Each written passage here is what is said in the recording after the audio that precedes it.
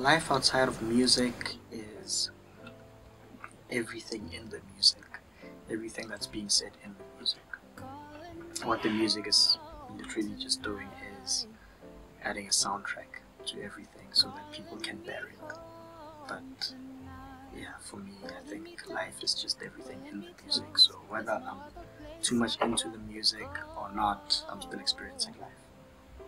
If it's music, it's like yeah, you can't separate the two. Sometimes it feel like the way it grows. I've lost the will to the pain, so when I walk in and your face glow, makes me wanna just build for you. Say, hold up, you wanna build too? Pass me on a brick too. Tell me you don't wanna Melody, take part of rhythm, and really good writing. the world ain't gonna get it. Good writing is I hope the sun something that speaks uh, to someone and is not it's not just a compilation of words. It, it's it's a it paints a picture. Yeah, it paints a picture. It's visual. It's, it's like a good mix. It has to be visual. It has to translate visually. It's it's something that I think as you learn more and more and more, you learn that you can take something further. But because you are in that profession and someone else is not quite that deep into it, they won't really see it to to that depth. But um, they'll be happy with how far you went. But I think as an artist, someone who who takes that thing not just as a job satisfying a client, but as an artist trying to actually see the vision through and see it come to its biggest form of life, then it will always just bother you, no matter how good you get. It's, just always going to be. I always have that. Hmm. Then it was, I think, being heard. I really wanted wanted to be heard. I was more of a poet than anything, and trying to get the right sound and trying to get the best quality was just so the vision was clearer for people to hear. And now that you know, yeah, there's people who are listening here and there. Um, I'm not looking for like millions to approve something or, or anything. It's just okay. I've gotten that little ear. I, well, I have a constant ear that I can always you know share with. And now for me, it's like growth. Now it's just I'm trying to grow each time in my art form, in my spirit. Um, I, I encounter a lot of people from different backgrounds, different, you know, I grow in different ways each day. That's just been the, the journey.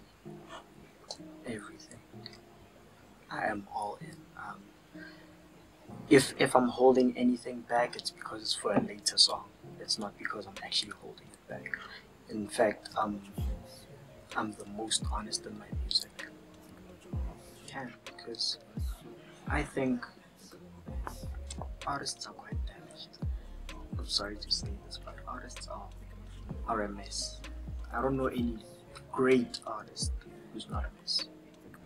Amy, Whitney, and I, I honestly don't know. And without disrespect, I have my own messes too. But they help push something out of you.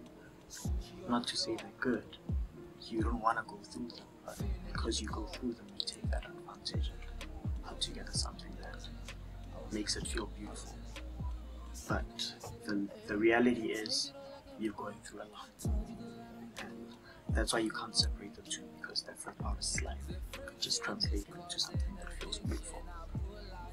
I, I think this this this is one girl, Aretha, that I work with, and she used to call me Jazz because every beat of mine would have an element of, of, of jazz in it. But the more I grew and the more artists I worked with, I obviously had to, you know, do more in other genres and kind of um, have those, certain elements only work in certain songs. You know, it, it can't just be a signature thing. Um, and I think from learning that, I, I stopped really having a sound. I just, whenever an artist comes in, I just try to read their energy, figure out how they're feeling. Is it upbeat? Is it like low? Is it chilled? Is it sad? Is it, you know, I, I try to follow their rhythm in a way and go with that. Uh,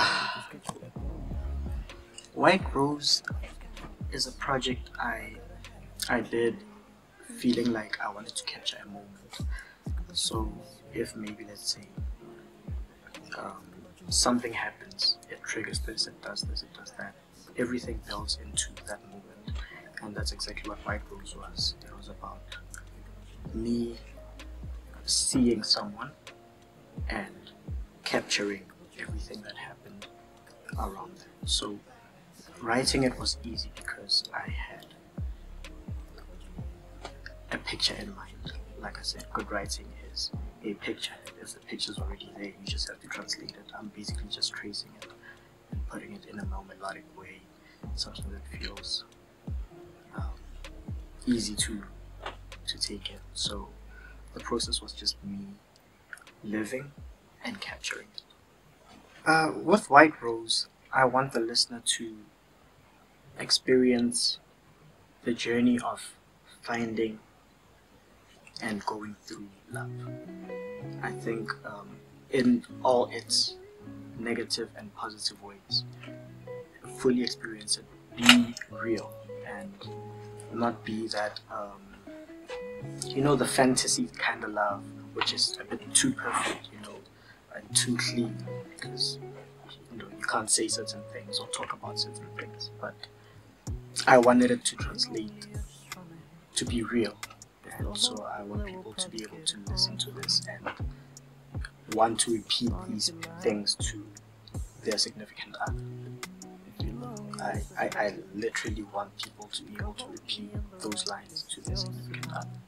Say I love you is um, I remember when I when I wrote that song um, I came across a a beat. This this was actually the first song that was supposed to give me direction of, of my project, and so obviously there was a lot of pressure on me to write the song that's that's gonna feel like a project.